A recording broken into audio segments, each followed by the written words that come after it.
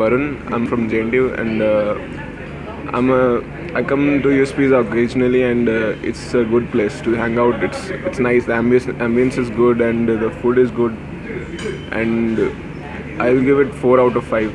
It's very nice. You should try it.